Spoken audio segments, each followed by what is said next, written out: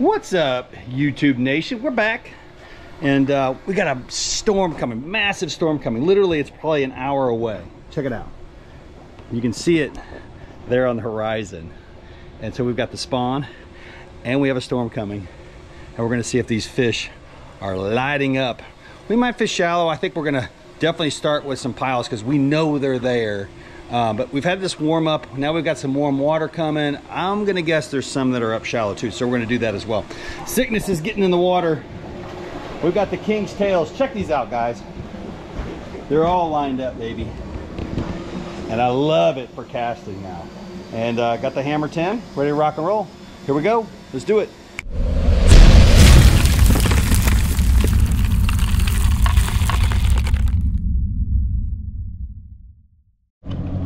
Right, as we start to go out to our spot today, a uh, couple things. One thing is we've got the new, the uh, Rend Lake tournament coming up for Crappie Masters. We're looking forward to that. That's gonna be awesome. Me and Mike are gonna try extra hard during that tournament. Um, what else do we got going on? Ah, it's just, I'll tell you what, guide trips have been crushing it lately.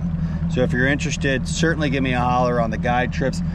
Um, very excited to have the Hammer 10 and the King's Tail. Um, in stock and we have a limited amount of those 200 series reels left. So if you're interested in those, again, everything available, everything you're gonna see is at 3poundfishing.com. We will be fishing with the Comet from Sniping Braid. And uh, yeah, let's do this.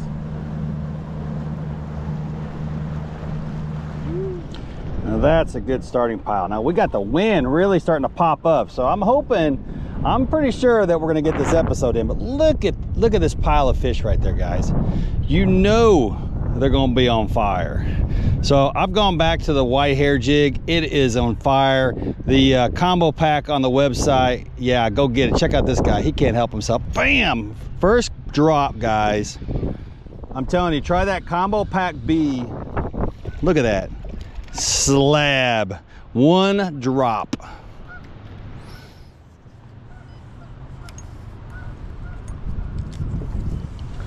Check that out, guys. Great fish. Letting them go.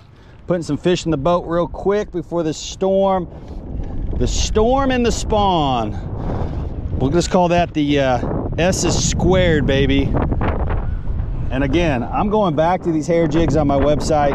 Um, I was playing with plastics for a while, but I gotta admit, these things are on fire and it really doesn't matter what color you take, to be honest with you, but check them out. They're so priced correctly. Um, and here we're just getting a play, see if we get some action here.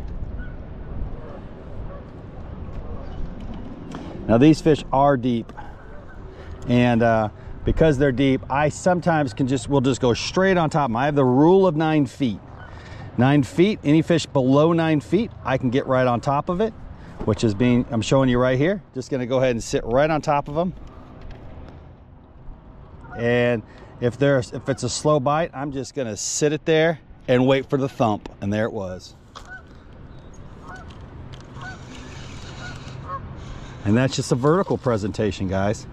Good eating size fish here. Right there, fantastic. That's what I'm talking about. Now that's hair jig and this is the hammer 10 going down. We're using the, of course, like I said, the Comet.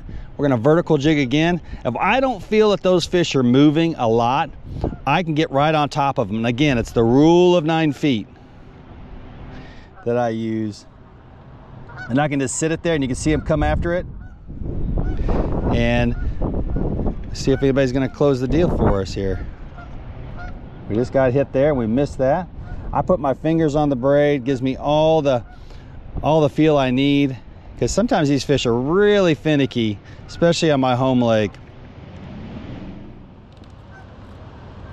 And they can't help themselves. They're pulling themselves, constantly pulling themselves off that pile. And you can give it a jig here and there, see if that sparks it. And we got them. We got the big fish, guys. And this storm is coming in. This is a slab, guys. Super slab right there. Wow. All right, guys, that's a fantastic fish, man. This is a tournament fish just doing the vertical jigging. Is that not fantastic? That's so awesome. We're gonna keep him for pictures for later. Now, again, we got a storm coming. It's getting extremely dark. Wind has picked up drastically. The water temperature has dropped. We're sitting at roughly around 66 degrees, um, far away from my uh, the source of energy on this lake.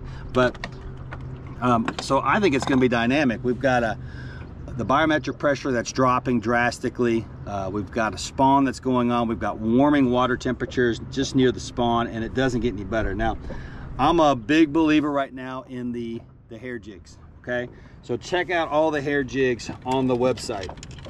Now, I have been using during the spawn all the three pound fishing jigs, okay? Everything you can imagine, but I'm really favoring the orange. The orange has been on fire right there.